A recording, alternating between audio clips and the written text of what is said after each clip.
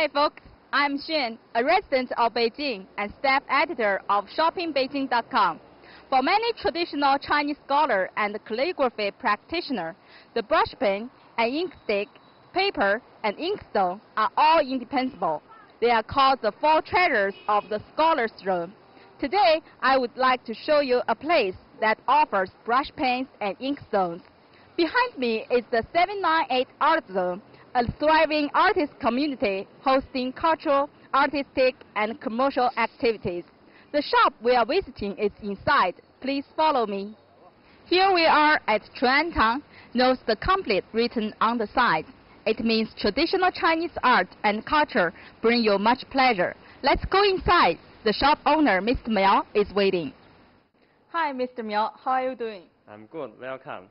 Mr. Miao, we are interested in learning about the four treasures of study. Can you tell us a little bit about this? Sure.